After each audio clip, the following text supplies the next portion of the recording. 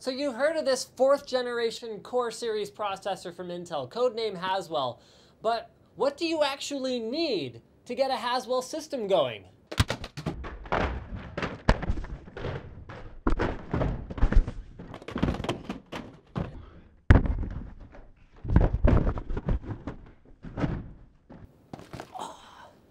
Some of these things, that's for sure. Don't worry guys, no awesome computer components were harmed in the making of this video, but uh, here's a more digestible version of that. The components that are affected by Haswell are the CPU obviously, the motherboard, the power supply, that's an unexpected one, but I'll explain more about that later, and to a lesser extent, your system memory.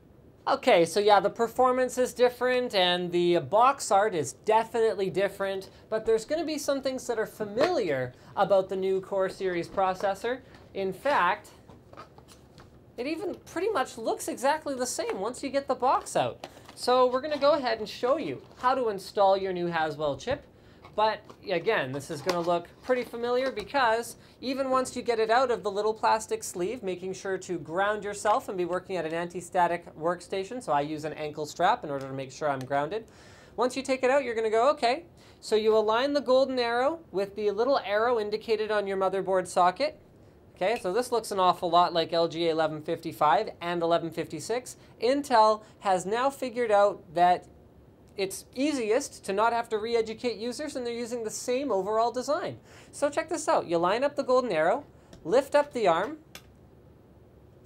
align the golden arrow again, carefully place the CPU into the socket, give it a little wiggle to make sure it's in place, lower the retention plate, lower the retention arm, and your CPU is installed. Next up, you grab your heatsink, which actually looks identical to the LGA 1155 one. So Intel has made things simple again. Even if you have an aftermarket heatsink, the mounting is identical on Haswell. The spacing of the holes is the same, and the stock cooler is actually the same as well. So just make sure you've got enough slack on the wires to reach the CPU fan header on your motherboard.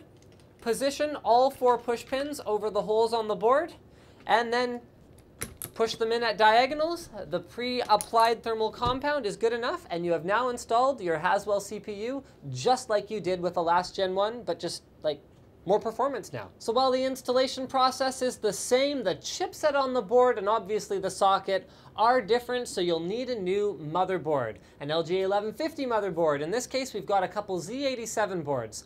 All the usual suspects from the Z77 days are back. So you got your Asus Gigabyte, MSI, ASRock, and we see a lot of continuing themes as well. So say, for example, if you wanted, uh, you know, an extreme overclocking board, a Maximus 6 formula is a great option, just like the Maximus 5 formula was, with a few tweaks. So for example, the onboard audio, which was already outstanding on the Maximus 5 formula, is even better on the Maximus 6 formula.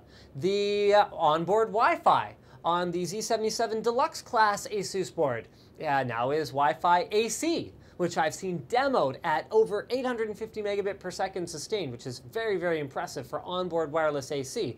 So what is it? It's the same, but more and better. So you get more native USB 3 ports, up to six, more native SATA 3 6 gigabit per second ports, up to six, and just in general, all the latest tweaks. So I'm kind of hidden here behind the Tower of Power. So Haswell has some new power states that are a little bit different from what we've seen in the past. Now, it used to be that when you got a new, you know, CPU or GPU, the first thing you wanted was more power, more watts, all that kind of stuff. Now it's totally different. For the new C6 and C7 power states on Haswell, these are low power states for when the system is idling, we're not doing anything, that allow it to draw very, very little power. Unfortunately, many older power supplies were not designed to deliver just a tiny, tiny little bit of power. They were designed more about like this kind of power. So you're going to want to make sure that you get a Haswell certified power supply. All the ones you see in front of me right here are Haswell certified, but if you want to be certain, there will be a link to a list of Haswell certified power supplies in the description of this video, so just double check before you get it. Now your system will still work even without a Haswell certified power supply, but those low, lower power states won't. So if you want to get the most out of it, get a qualified power supply. Which leads us to RAM. Now, one of the things I said was that RAM is affected to a lesser extent. And what I meant by that is that you can buy Ivy Bridge optimized memory and use it with your Haswell system. No problem, no big deal. The one real difference is the fact that Haswell's integrated memory controller is, by and large, excellent. So while the supported DDR3 speeds aren't that different, I have heard anecdotally that even up to 70% of Haswell chips are capable of running DDR3 2800 megahertz or even 3 gigahertz out of the box, which is very, very cool. So all of a sudden, those high-speed memory kits, some of which couldn't even run at stock speed on many Ivy Bridge chips, can be able to stretch their legs fully with Haswell. Now, the one thing to bear in mind is that once you start to overclock your Haswell, so overclock the CPU core speed, your memory frequency ceiling does start to lower.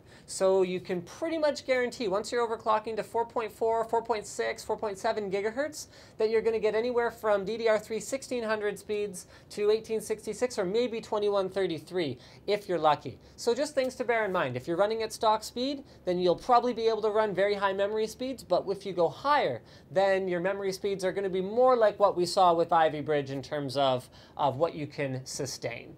Thank you for checking out this Haswell Buyer's Guide. Don't forget to subscribe to NCIX Tech Tips for more videos like this from ncix.com.